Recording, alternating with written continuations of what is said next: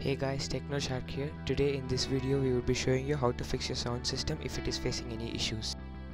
The first thing is to just check if the volume of your PC is high and if there's any loose connections in your PC. Even after that if it does not work, just follow my steps.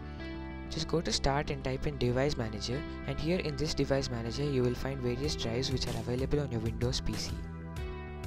Since this video explains you about how to fix your sound, just go to audio inputs and outputs and click the arrow next to it. Since you're facing problems with your output device which is a speaker, just right click it and click uninstall. And then click OK.